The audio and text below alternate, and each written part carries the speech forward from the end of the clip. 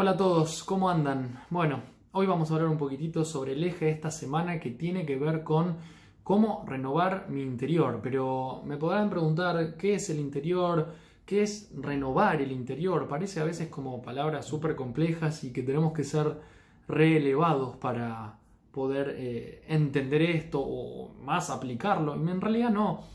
Eh, es detenernos y detectar, bueno, cómo estamos de ánimo. ¿Cómo, cómo están nuestras emociones, cómo están nuestros pensamientos. Ahí vamos a poder decodificar básicamente cómo está nuestro interior, porque emociones y pensamientos están dentro nuestro, no es algo que venga de afuera, no es una serie o una película de Netflix. Entonces, bueno, ¿cómo estoy básicamente? ¿Cómo es que yo estoy en este momento?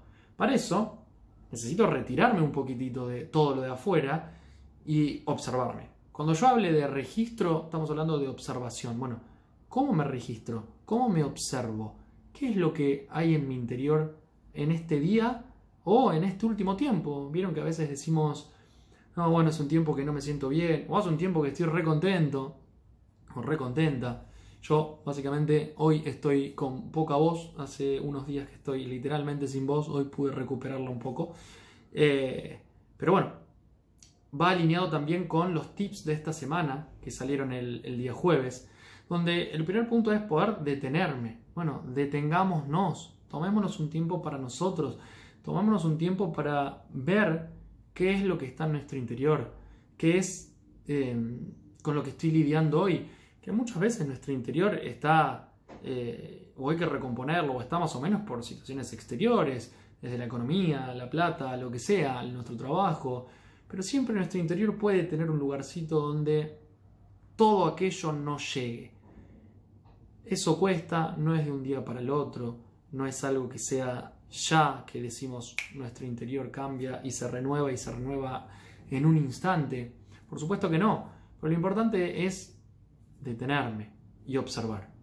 Observar, volvamos al IGTV anterior, las emociones son alarmas, en ese caso hablamos de la ansiedad, el miedo, son alarmas, la angustia es una alarma, Angustia viene de angosto, de algo que se nos angosta. Por eso cuando estamos angustiados sentimos una bola en el pecho, una opresión, se nos angosta toda esta zona.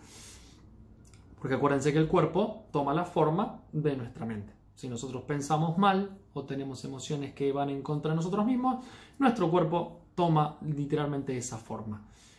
Teniendo dolores, teniendo lugares angostos por nuestra angustia, teniendo contracturas. Nuestro cuerpo es como el resultado de nuestros pensamientos, de cómo pensamos.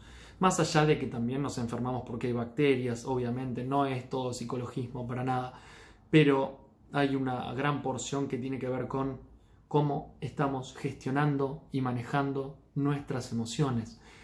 Entonces es importante esto, ¿no? El poder, cuando nos sentimos mal, angustiados, tener recursos para renovarnos, bueno, ¿cómo renuevo yo mi interior hoy?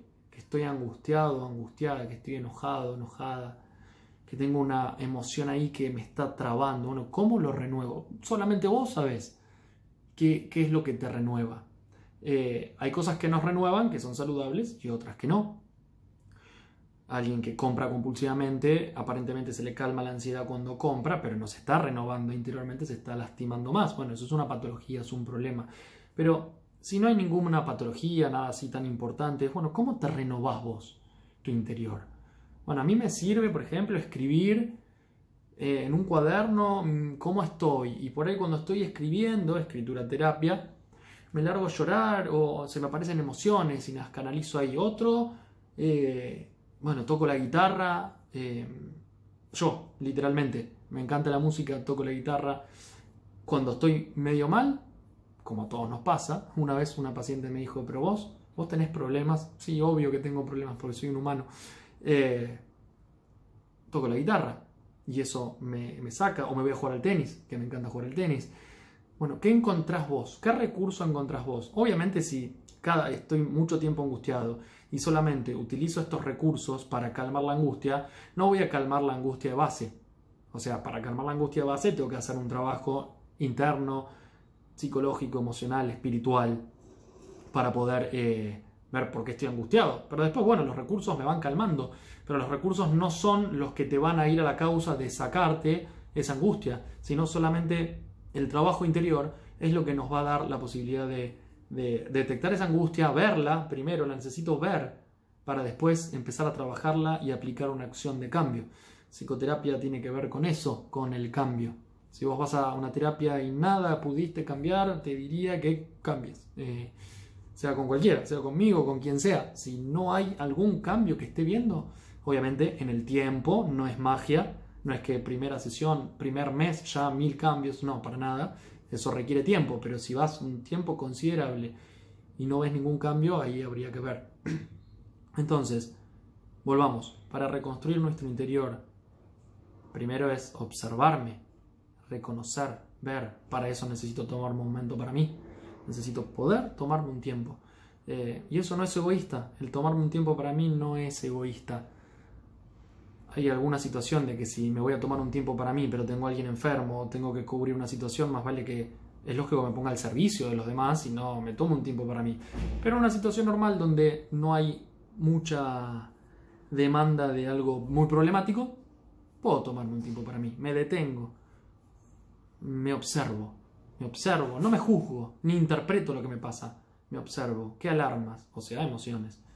¿Qué estoy pensando? ¿Y qué hago? ¿No? ¿Qué hago con eso que me pasa? Y empezar a encontrar esos recursos que solamente vos sabés que pueden ayudarte o a veces no los puedo descubrir y ahí necesito ayuda de un profesional que me ayude a, ir descubriendo eh, qué es lo que a mí me sirve. Y como siempre les digo, la manera de trabajar, por lo menos que yo tengo, es, como dice en la misión de la página web, que espero que puedan visitar, que es www.pablocaruso.online, es eh, ir a lo profundo, ir a las causas de lo que nos pasa, pero no estar años buscando las causas, porque a veces tarda mientras en paralelo brindamos recursos concretos en el aquí y ahora para abordar lo que te está pasando. Entonces, recursos y en paralelo trabajamos las causas, o trabajamos las causas y en paralelo brindamos recursos. Así que bueno, espero que dejes tus comentarios, a ver si te gusta, si te sirve esto que, estamos haciendo, eh, que es para vos básicamente.